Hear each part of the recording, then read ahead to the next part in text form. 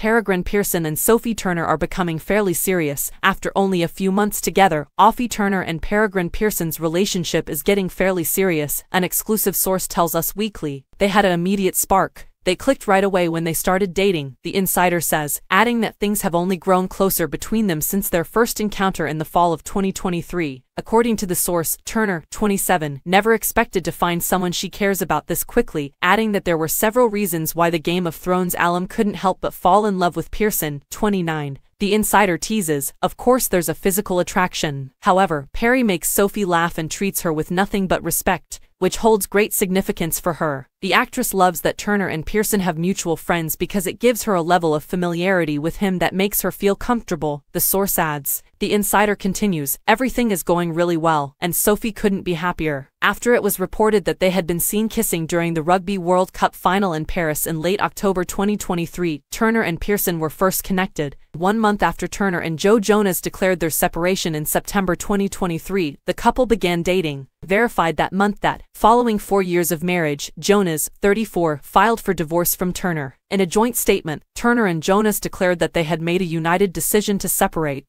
They quickly found themselves in a tumultuous custody dispute concerning their two daughters, 18-month-old Delphine and 3-year-old Willa. In September 2023, Turner filed a lawsuit against Jonas, alleging that her divorced husband was preventing their daughters from visiting England, where she was born. The children were able to travel between their parents' homes in the United States and the United Kingdom when the ex-couples came to a temporary custody agreement the following month. Since then, Turner and Jonas have both returned to the dating scene. In December 2023, an exclusive source told us that Sophie had been casually dating a few people since her breakup with Joe, adding that the British actress really seems to like spending time with Perry.